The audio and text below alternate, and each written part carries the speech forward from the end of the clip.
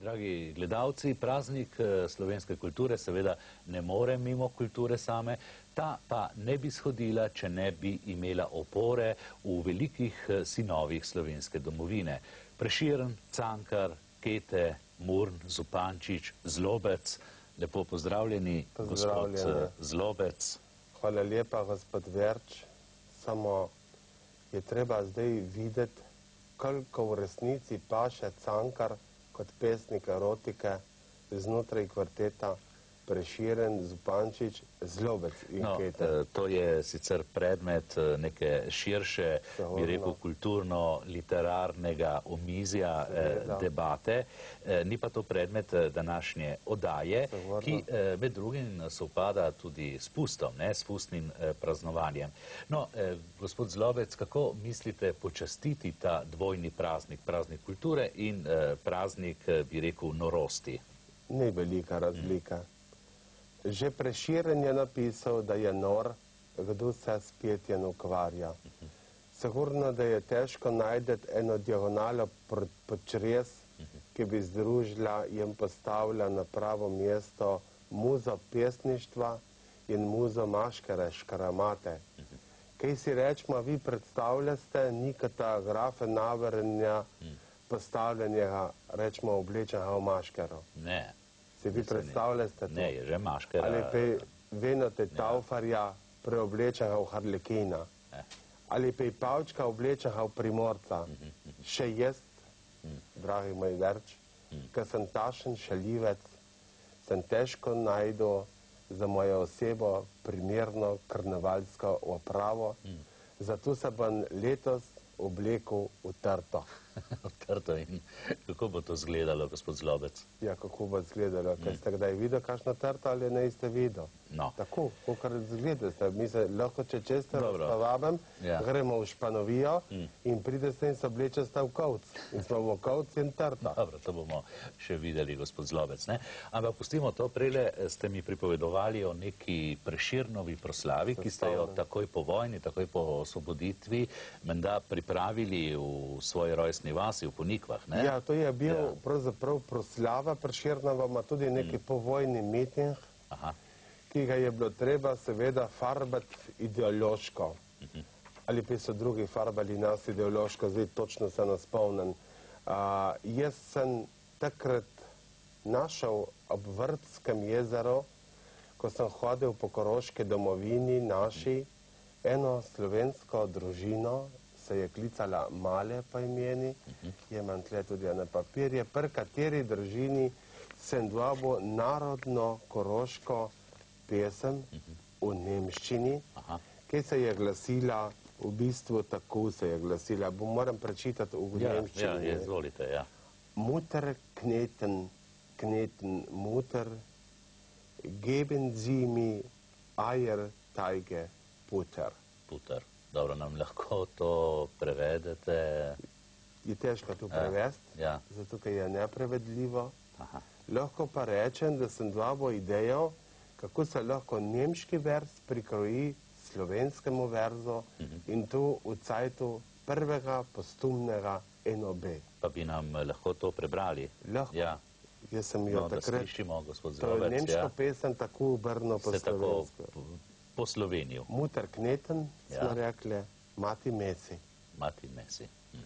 Mati mesi, mesi mati, von razteza se v nebo. Mesi mati, ima muter kneten, ne? Mhm.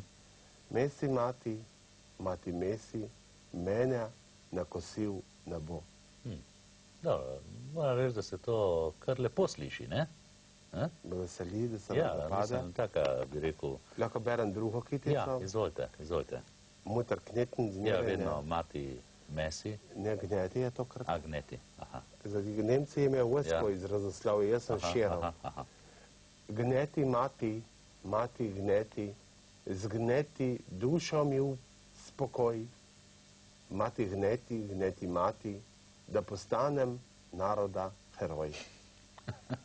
Dobro, gospod Zloven, ampak to je bila čista, bi rekel, režimska, skoraj agitpropovska pesem, ne? Lahko, Ja, tukaj ja. se vzame, tašni so bili cajti, so neč ne sramavan.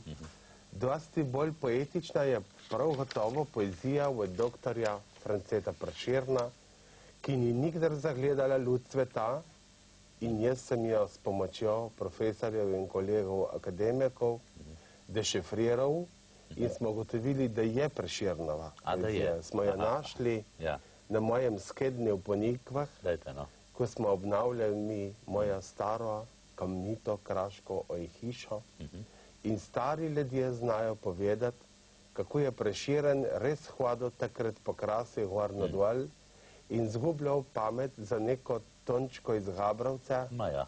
Verjetno je bila tončka od Bučkovih, Ja, se ja. spomnite? Ne, ne, žal ne. Ne, Se vem, ne spomnite. poznam. Ja, ja. Kako da ne, čudno. Ja. Ker je sestrična od Marička Kobdilja, ki je poročila Bertota Skobje glave, Ja. ki je sin od frizerka iz Komna, Ja. ki je čerka od gospodarja prvo smisel v Štanjeli. Eh. Par ujčeveh. Ne, ne, Tončka ne, pa ne, se ne- ne spomnim. Jaz se Ja. ja še spomnim, preširna nisem sicer nikdar Ja, videl, ja. in preširen je namenil eno svojo lepo zebro. Mislite gazelo? Gazelo, še ne pisal gazele. Vem, da je pisal, Ja. hvala za pojasnilo. Ja. Ma gazela je prišla pole. Ja. Na Krasmu smo mi Mm. temu rekli zebra. Zebra. Jaz bom prečital to Ja. zebro, zakaj je polna žalosti in tudi istočasno pustnega veselja. No, eh, gospod Zlovec, veseli nam, da nam boste prvič, kaj ne, prebrali to kraško preširnovo eh, poezijo. Eh, pustno, kaj ne? Pustno. Eh, ja. In je poezija, ki govori, kot vidite, sem dobil imate, krov. imate en krov. Ja, Sem dobil ja. krov, hvala Eh, lepa za prvi plan. Kaj govori o krofa. ali kaj? Jaz mislim, da sem jaz bolj Ja. interesanten kot ta Aha, krov. aha, aha. Če čemo, ja, a, se kliče krov. krov. Krov, Zebra. torej, Grem gospod naprej. Ciril Zlobec. Ano, malo krov. muzike malo bi glasbe, prosil, malo Chopina, eh, bi da- šlo. Ja, ja. lahko bi, lahko. Malo Chopina, prosim. Še pred leti misla si, oj Tončka, krov se cvre. Letos že zajemaš z drugega lončka, krov se cvre. Kaj sodobne dekle nam sladice, krov se cvre. Boš rekla, da srbet je boljši od potice, krov se cvre. Vrnila se v rodno vas je Tončka, krov se cvre, stara, zgubana, v očeh brez sončka, krov se cvre. Zeva, prazen ištedilnik, starki, krov se cvre. Zeva, prazen ištedilnik, starki, krov se cvre. Odzvonava zvon prsvetni marki, krov se žge.